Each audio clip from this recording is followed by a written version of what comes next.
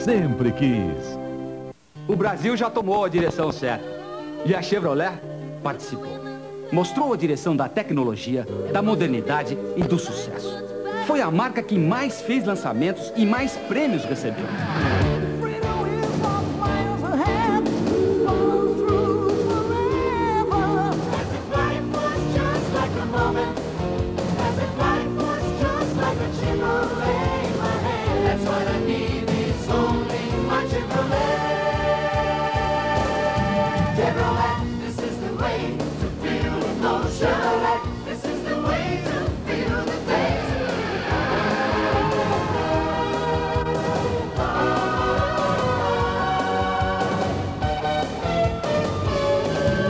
Em 96 vamos continuar andando na frente. E você também está convidado.